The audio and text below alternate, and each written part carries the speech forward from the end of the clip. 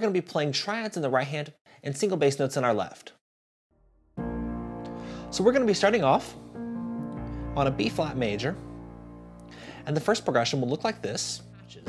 The first patch is going to be a rich strings pad, and here's what that sounds like.